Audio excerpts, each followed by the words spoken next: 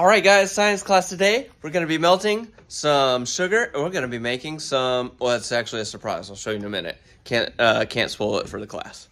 Okay, for this experiment, we are melting 50 milliliters of sugar. I've got a thousand milliliter beaker here to spread out, get some more surface area on that to make that go quicker. And then, of course, we've got a spoon, a couple of hot hands, and two beakers of cool water. So we're gonna see what happens once we get this sugar all the way melted. Boiling right now. We're gonna go ahead. I've got a very hot sugar. We're gonna go into cool water. Probably should not do it while it's boiling. But in beaker A, I'm gonna pour it very slowly. I'm gonna do my best to drip it in. It's super hot right now. I wish I hadn't boiled it, but it is gonna work all the same. Should probably be wearing goggles. Oh, oh, look at that. They're little.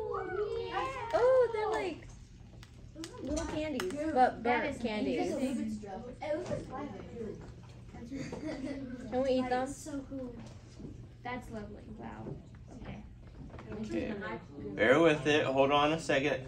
So beaker A, guys, I'm going to be pouring into the beaker as slowly as I can.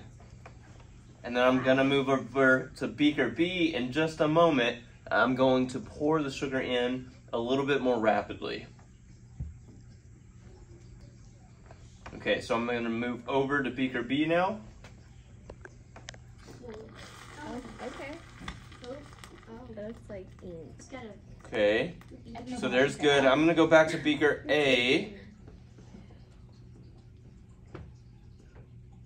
We're going to put the remaining into beaker A.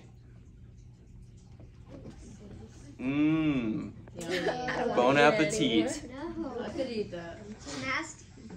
It smells gross. It smells like It burnt. does. It, it is pretty burnt. I will say that. I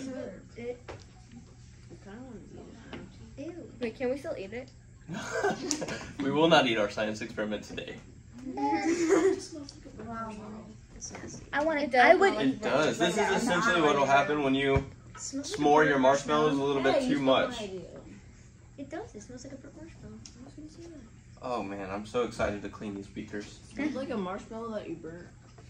It smells like syrup. Why is everybody saying it smells like You need to make some Okay. Yes, it does. Oh wow, that's really stuck Oh, get off this. there. It looks like syrup. And it smells like It It smells like a burnt excited marshmallow for sure. All right, Oh, look at it's- that. it. It's oh, solidified. I smell it now. The burnt marshmallow.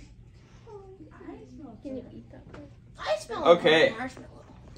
All right, guys. So we're gonna give this a moment to cool off, and then we're gonna pour the water out of the two beakers, and then we're gonna compare the sugar rocks that we just created.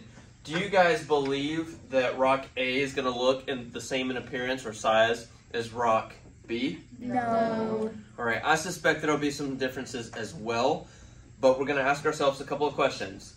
How did rock A form? What does it look like? How did rock B form? What does it look like? So those are going to be the questions that we're going to be comparing in just a moment, but we're going to let these, I think they're good to go. We're going to go ahead and pour out the water now and compare the two rocks. You didn't even eat it. Oh, it's terrible. Eat the whole thing. It's incredibly burnt. Like it tastes like Eat the whole thing. You know where you're eating a burnt marshmallow and you're not sure if it's marshmallow or like a chunk of log you accidentally touched? Yeah. Like that's what it tastes like right now. Just swallow it. Ew.